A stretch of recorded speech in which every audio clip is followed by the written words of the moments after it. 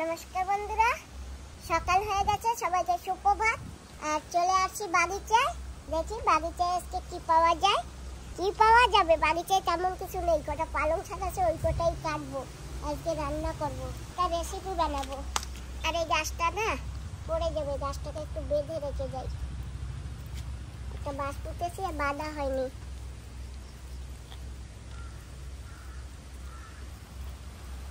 গাছটা বেঁধে দিলে না বাবা? সুন্দর ফুল ফুল বেঁধানো হ্যাঁ। কি হাওয়া বাবারি বাবা। হ্যাঁ পুরো রাত পুরো তুফান হয়েছে না? হ্যাঁ। বাড়ি ঘর দুয়ার পচে গেছে। এতদিন বৃষ্টি হয়নি। বলতাম বৃষ্টি নেই বৃষ্টি নেই। আর এখন বৃষ্টি হয়েছে। আর এখন বাড়ি ঘর দুয়ার একদম পচিয়ে দিয়ে গেল। বন্ধুরা যাচ্ছি। এই যে দেখেছ কি সুন্দর সর্ষে গাছে হয়েছে। কোনটা রেখে কোনটা খাবা? এখন সর্ষে গাছের একদম হয়ে যাবে। বাবা, পালং শাক তো খাবার মতন এখন নেই। একটু পাতলা পাতলা করেও দিতে হবে।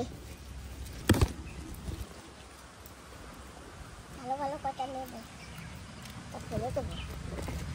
যখন খাওয়া গেছে তখন তুলিনি। ভাবছি আর একটু বড় হোক, আর একটু বড় হোক। বড় হতে হতে খুব বড় হয়ে গেছে। বর্ষায় নষ্ট হয়ে গেছে। এত বর্ষা হলে কিছু থাকে বাবা?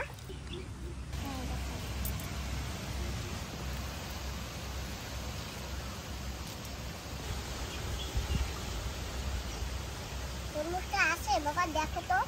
আছে মা আছে। আছে? ভালো আছে না? সবকে খেয়ে গেছে মোটামুটি ভালোই আছে। আচ্ছা।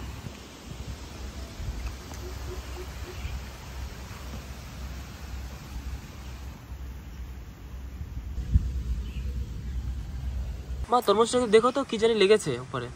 কি লেগেছে? যাই না একটা পোকা পোকা দেখাচ্ছে যাই না কি ওইগুলো। পোকা ছাড়া আর কি হবে? পরিষ্কার করে দেবো এখন পাতাগুলো তুলে ফেলে দেবো নতুন পাতা জ্বালাবে। শামুক লেগেছে বাবা আগে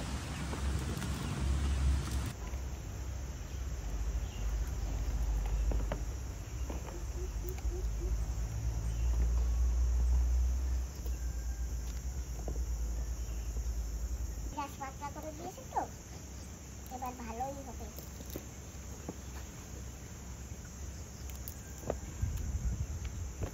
ও এই পিঁপড়া কি লড়াই করছে এখানে দেখো তো। হ্যাঁ? লড়াই করতে থাকে এরা খালি। দেখো লড়াই করতেই আছে এরা। কোথায় গেল? এই যে। আমার আমার লাগে কি এই পিঁপড়া না তোমার গাছ খেয়ে ফেলে? হ্যাঁ এই যতগুলো ফুটো ফুটো দেখা যাচ্ছে না এই যে হ্যাঁ হ্যাঁ। এইসব এই পিঁপড়া। এই দেখো আমার হাতে এসে গেছে এই দেখো। চলে গেছে। মা বেগুন তুলবে না হ্যাঁ বাবা বেগুন তুলবো তো বেগুন দিয়ে হ্যাঁ। আলু দিয়ে আর এই যে পালং শাক দিয়ে রান্না করব। তুমি বেগুনটা তুলে ফেলো না বাবা। হ্যাঁ। এই যে মা তুলেছি। আচ্ছা বাবা তরমুজটা না পচে গেছে জানো? পচে গেছে? হ্যাঁ। কি ভাবে মা? এই যে দেখো শামুকে খেয়ে গেছে তো এই যে দেখো এই যে ওরে বাবারে এ হ্যাঁ তো হবে না? না তরমুজ খাওয়া হবে না এই যে পচে গেছে। হ্যাঁ তো খারাপ হয়ে গেছে। হ্যাঁ। চালে উঠিয়ে দেওয়া লাগতো ভাবি আগেই না? হ্যাঁ এই উপরে যে এই ঝাঁকাটা আছে না এই যে ওই ঝাঁকাটা দেওয়া লাগতো। তাহলে শামুক পরে খেতে পারতো না। হ্যাঁ। দেখো মা তোমার মাথায় রক্ত কীরকম খেয়েছে? মশা না? হ্যাঁ। ঠিক আছে তো বন্ধুরা অনেক শখ করে একটা তরমুজ গাছ লাগিয়েছিলাম হয়েছে। তরমুজও হয়েছে। আজকে তরমুজটা যে দেখো শামুকে এখান থেকে খেয়ে ফেলেছে আর জল ঢুকেছে নষ্ট হয়ে গেছে। ফেলে দেই যাই হোক বন্ধুরা কিছু করার নাই এই যে দেখো আবার পুরো বৃষ্টি আসছে। দেখি বেগুন কত বড় হয়েছে। মা বৃষ্টি নামছে খুব। হ্যাঁ হ্যাঁ। এই যে দেখো বেগুন সেই কাটা বেগুন। তুলে চলো চলো মা চলো চলো। বৃষ্টি নেমে গেছে। চলো বেগুনটাও তুলে নিয়ে যাই। বেগুনটা এখনও করছি। চলো চলো ভিজে গেলাম ভিজে গেলাম।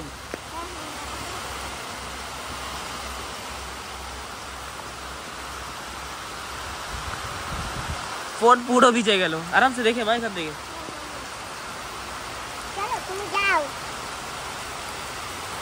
বন্ধুরা দেখো এই কটা শাক পেয়েছি। এই কটা শাকে তো হবে না। এর ভিতর কটা সর্ষের শাক তুলে আনি। জানো বন্ধুরা পালং শাক খাওয়া কিন্তু খুব উপকারী আর সর্ষের শাকও খুব উপকারী। তো যাই কটা সর্ষের শাকও নিয়ে এসে বৃষ্টিটা একটু কমেছে কিন্তু বৃষ্টি আবার আসবে। ওই যে দেখো কীরকম ম্যাগ হয়েছে। বাবা এই লঙ্কা গাছটাও পড়ে গেছে। এটা হ্যাঁ। পুঁতে বেঁধে দেবো। নয় পড়ে যাবে। এত হাওয়া। দেখেছ এখানের পালং শাকটা কত বড় হয়েছে? হ্যাঁ। কটা সরষের শাকও তুলেছি বাবা। এই যে এখান থেকে পালং শাক কটাও নিয়ে যাই। এই যে সরষের শাক আর এই যে পালং শাক আর এই পালং শাকটাও কেটে নেই। অনেকটি হয়েছে।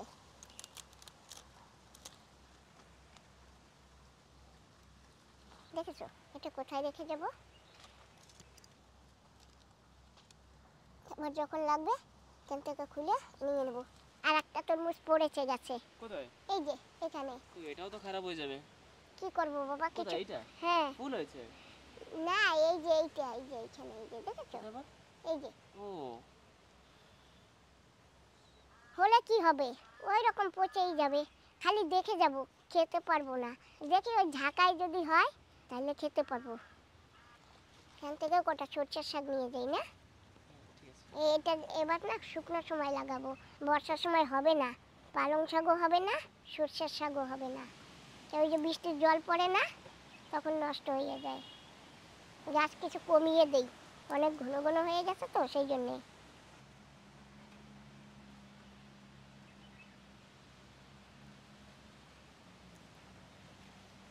বন্ধুরা দেখো, একটু একটু করে তুলছি, অনেকগুলি শাক হয়েছে। কিন্তু যখন গাছে দেখলাম তখন লাগল কি এর মা কটা শাক হবে এনে? তো অনেকগুলি শাক হয়েছে। আর এই যে সঙ্গে দুটো বেগুন দেবো দুটো গোল আলু দেবো তো হয়ে যাবে না বলে এক তরকারি? তো চলো রান্না করব। তো রান্না যে করব বাগিচা থেকে শাক তুললাম বাগিচার শাক একা খাব? চলো বান্ধবী দিদিকে নিয়ে খাব। বাবা তোর মাসিকে নিয়ে খেলে কেমন হবে? হবে। ভালো হবে না? চলো বাবা মাসির ঘরে আমরা ডাইরেক্ট নিয়ে যাই। মাসিকে আর ফোন করব না। নিয়ে গিয়ে ওখানে গিয়ে রান্না করব। তোমার মাসিও খেতে পারবে, আমরাও খেতে পারব না। একা কেন খাব? তো দিদি, আমি আসতেছি। তুমি কি করছ আমি জানি না। চলো, একটা ব্যাগে ভরে নি চলছি, দিদির বাড়ি। শাক নিয়েছি। দিদি না চল খুশি হবে। শাক তো অল্প কটা না তবু অনেক খুশি হবে। জানো তো বন্ধুরা? আমার দিদি, আমার মা আমি যাকে যা দেই অল্প দিলেও তারা খুশি হয়। আমার যেটুকু থাকবে আমি তো সেইটুকু দেবো না। এখন আর একটু মতো ওই যে কত নষ্ট হয়ে গেছে তোমরা দেখো না বর্ষায়। তোমরা তো দেখেছ না বর্ষায় নষ্ট হয়ে গেছে। এই যে দেখো বন্ধুরা আমাদের কাজে দিদি এসে গেছে। ভালো আছো? ভালো আছে। চলো। হ্যাঁ। আর জানো তো বন্ধুরা কালকে দিয়ে আমার বান্ধবী দিদি ডাকতেছে যে সকালবেলা এখানে আসো সকালবেলা এখানে আসো। তো শাকপাটা তুলে তো নিয়ে আসলাম তোমাদের তো বললাম। ধরে এসে পড়েছি। দিদি কি করছ? আমি একটু সাজুগুজু করছি। সকাল সকাল। আসলে তোমাকেও লাগিয়ে দিই নেল পলিশ লাগাচ্ছি না আমার পা ভিজে ভিজে আমি বৃষ্টিতে একটু মানে ভিজে হয়ে গেছি আর দিদি জানো তুমি আমাকে দেখেছিলে না? হ্যাঁ। গেছি হুম। তারপরে আমি না কটা শাক তুলেছি এই? যে আজকে আমাদের ঘরে গোপাল আছে দেখো। আর বন্ধুরা কেমন আছো? কেমন আছো? হাত এমনি করো। বলো আমি অনেক বড় হয়ে গেছি। পালং শাক এনেছো গাছের? হ্যাঁ পালং শাক আছে সর্ষে শাক আছে একটা ডাঁটা শাক আছে বেগুন আছে এই যে দেখো। গাছের বেগুন? হ্যাঁ এই যে। সব মিলে একটা শাক হবে তাই সবজি হবে? হ্যাঁ নিরামিষ সবজি হবে। একটা কাঁটা বেগুনও আছে আমি তো এটা নিয়ে আসি। তুমি আমাকে কেন দেখেছ বলো। চলো দেখা যাক কি হয়। চলো। ঘরে চলো। আমার না আজকে ঘাড়ে একটু ব্যথা হয়েছে। জানি না রাতে কেমন ঘুমাইছে এই যে এইভাবে নড়ছে না। আমি টিপে দেই হ্যাঁ, দাও। ঠিক আছে। আর ওই সেদিন ওই সেদিন ওই বর্ষার সাগরের জলে স্নান করে না একটু সর্দিও লেগে গেছে। হ্যাঁ ভালো মা ভালো ঝাড়তে পারে ও একটা বোত্তর আছে। ঠিক আছে দাও দাও, জোরে দাও জোরে দাও তাড়াতাড়ি। আমি ঝাড়তে গেলে কিছু কিছু জিনিস লাগবে। এই যে আমাদের গোপাল। গোপাল এখন বড় হয়ে গেছে। একটু লজ্জা হয়েছে গোপালের। না গোপাল? মা কি জিনিস লাগবে? ঠিক আছে একটু দাঁড়াও। না আমার কিছু কিছু জিনিস লাগবে ওইগুলি না হলে আমি ঝাড়তে পারি কি কি জিনিস লাগবে বলব তোমার না তোমার মাসি যদি বলে তাইলে। না তাও কি কি হ্যাঁ, জিনিস লাগবে? জিনিস কি কি লাগবে সেগুলো বল। একটা ভুট্টিবন গাছের ডাল লাগবে আর একটা ঘেরা ঘেরা রেলিং এর কষা আছে না সেই এর একটা বেশ সুন্দর একটা এই যে বস্তা। আগাং বাড়াং ও বাবা বুঝে রে। গেছি। এখানে খাতারনাক কোচা দেখি ওইগুলো ঝাড়তে হবে আর মন্ত্রটা পড়তে হবে ঠিক আছে কি যেন মন্তর? আইলার গু বাইলার গু আলাদা আলাদা প্রসেস আছে এইটাতে? রিং টিরিং আরও আছে আগে পাওয়া না ঝাড়তে হবে আর ওইগুলো বলতে হবে বুঝলে ঠিক আছে, তাহলে জন্য চলো। বলে দেই, তা তুমিও শিখে যাবা আমার না, দাম আমার- থাকবে না আমার শেখাতে দরকার নাই চলো আমরা যাই খাওয়া দাওয়া করি সকালে নাস্তা করব। চলো নাস্তা করব। আমি চল চলো নাস্তা করব মাসির ঘরে আজকে। স্পেশাল নাস্তা স্পেশাল হ্যাঁ চলো দাদা আসো। তো বন্ধুরা বান্ধবী দোচা বানাচ্ছে আজকে। এই যে কতগুলো বানিয়েছি আর তোমরা আসলে গরম গরম বানাবো দেখে। আর একটু আমি দো- গোপালকে খেতে দিই একটু ধরে ধরে খেতে থাক। চাটনি বানানো হয়ে গেছে। দাঁড়াও গোপাল। এই না তুমি এখানে বসে খাও। কোনটা এটা খাও ধরে ধরে বসে বসে এই খাও হ্যাঁ হাত ধুয়ে আসো হাত ধো আগে হাত ধো হাত ধো এই যে বাবা রে বাবা আমার গোপাল দাদা কত বড় হয়ে গেছে না? সব বোঝে এখন। হ্যাঁ চলো। ব্যাস। আমি আর কটা দোসা বানাই তুমি এটা খেতে থাকো। ও সকালবেলা ম্যাগি খেয়েছে। ওই প্রিয়াংশু গেছে না? ওই ম্যাগি- বানাইছি তো সে সময় খেয়েছে। তাই আমি বলছি ঠিক আছে। একটু ভালো করে ধরে ধরে খেতে থাকো হ্যাঁ এরকম করে ধরো এরকম করে ধরো আর খাও। তোমার তো হোটেলে দোসা খাওয়ার নেশা অভ্যাস তোমাদের। আর আমি ঘরে বানাচ্ছি দেখো কেমন হয় খেয়ে মা ইডলি কিন্তু অনেক ভালো বানায় তুমি জানো মাসি মা ইডলি বানানো না সবাই খেতে আসে। হ্যাঁ একদম তুলোর মতন সফট সফট বানায়। আমার ছেলে তো বলে বলে পিসি তুমি ইডলি বানালেই আমাকে ডাকবা। আমার ছেলেকে ডাকি তারপরে বাবাকে ডাকি। ভালো করে খাও গোপাল। আমার দেবো হ্যাঁ? ও কপু ওই যে তোমার বুকে সব জায়গায় লেগে গেছে কীভাবে? ওরকম দুধ খাব না। হ্যাঁ? দুধ খাব না। দুধ না চাটনি। আর দেবো না চাকরি যাব এই দেখো গপু এই দেখো এই যে দোসা ঠিক আছে? এরকম করে এরকম ভিজিয়ে আসলে না ও সকালবেলা একটু ম্যাগিও খেয়েছে। হ্যাঁ। মুখে লেগেছে কেন? মুখে কেন লেগেছে? ম্যাগি আছে দেখ সুমন দেখ তোর পাশে ম্যাগি আছে খেলে খেতে পারো ওই দেখো। চলো, সেই। ম্যাগি সকালে ম্যাগিও বানিয়েছিলাম। মুখে লাগে না জানি ঠিক আছে? কপু মুখে জানি না লাগে হ্যাঁ এই দেখো আরেকবার দেখাচ্ছি এই দেখো এরকম করে দেখো। মুখে লাগে খাব না। হ্যাঁ হ্যাঁ। না থাক তোমার চাটনি খেতে হবে না থাক। তো দিদির ঘরে এসেছি আর দিদি দেখো গরম গরম দোচা বানিয়ে দিয়েছে। আর আমি বানিয়ে নিয়েছি এক কাপ চা। দুধ চা খেতে মা। চাটনি খাব না? না। দিদি লাল চা খেলে না? লাগে জানি কি আমি একটু চিনি দিয়ে গরম জল খেয়েছি। তো খেতেই হবে না? চাই ক্যান্সেল কদিন আর বাঁচবো না? দোসা খাই চাটনি দিয়ে। তাহলে দুধ চা খেয়ে জলদি মরতে হবে। বাহ। দুধ চা খেলে মরবো না কদিন বাঁচবো। না কাজ দিদি? হ্যাঁ বলছো না কেন কিছু? তোমরা বলো তো সেজন্যই তো। তুমি শোনো? হ্যাঁ। তার জন্য আমরা দোসা খাচ্ছি। নিজে বানিয়েছি ঘরে। টেস্ট হয়েছিল সুমান? হ্যাঁ ভালো হয়েছে। তোমার কাছে ভালো লাগছে বন্ধুরা আমরা এখন একটা রেসিপি বানাবো। আর আমাদের রেসিপি যদি দেখতে হয় তাহলে মা ডিগ্রি ইউটিউবে সার্চ করবেন দেখতে পাবেন। আর দেখো আমাদের সঙ্গে আজকে গোপাল দাদাও আছে। হ্যাঁ বলো। বলো আমি বড় হয়ে গেছি। বড় হয়ে গেছে। আমাদের গোপাল দাদা ভীষণ স্মার্ট আমার ঘরে থাকে প্রায়ই আসে আমার সঙ্গেই থাকে। যাই হোক আজকে ক্যামেরার সামনে পেয়ে গেছি।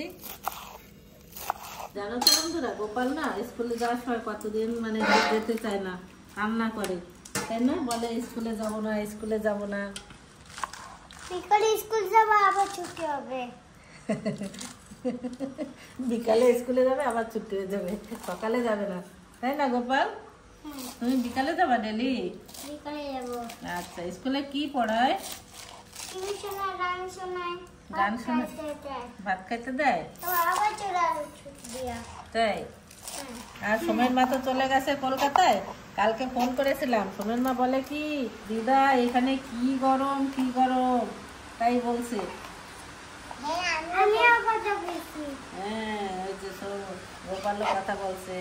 আমিও ফোন করেছিলাম সময় মাকে বলে কি? বলে জানো লাগে জানি কি আগুনের গোলা ভিতর বসে আছে। আমাকে তো তাই বলল। দিদি জানো? হুম। তরমুজ আর খেতে হবে। কেন?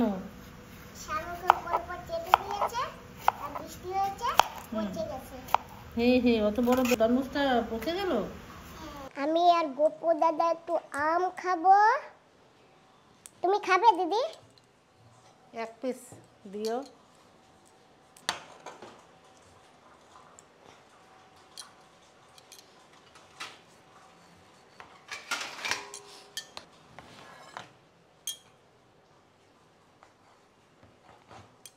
দাদা? খেতে থাকো এই যে আরও আছে নাও। দিদি নাও। সুমন বাবাজি তুমি গুটলি খাও। এই নাও তুমি এটা খাও। এইটাই অনেক আম আছে? তুমি এটা খাবা না এটা খাবা? যেটা খাবা খাও। ওখান থেকে আর কটা আম নিয়ে আসো অনেক আম আছে। আরও দাও। আরে দেবো? ঠিক আছে। দাঁড়াও তোমাকে আমি কেটে ছোট করে দিই। এই নাও না তুমি ওই দু পিস খাও। সুমান নাও এটা নাও। তুমি হাত ধুয়েছো ভালো করে গোপাল খেয়েছো আম? না পেট ভরে গেছে? আজকে সকাল থেকে আমাদের ঘরে গোপাল কিছু কিছু খেয়ে যাচ্ছে না। সকালে ঘুম থেকে উঠে ম্যাগি খেয়েছে এসে। তারপরে দোসা খেলো এখন আম খেয়েছে আজকে ঘরে কিছু খায়নি। গোপাল আজকে ঘরে কিছু খেয়েছো? কি খেয়েছো ঘরে? ঘরে বিস্কুট খাইছো আচ্ছা। আমি দুলে বলব, তুমি আমাকে দুলু দেবা। দোলনা দেবো। হ্যাঁ দোলনা দেবা। এই তুমি কি করেছ? হ্যাঁ কি করেছ? যে, কি করেছে?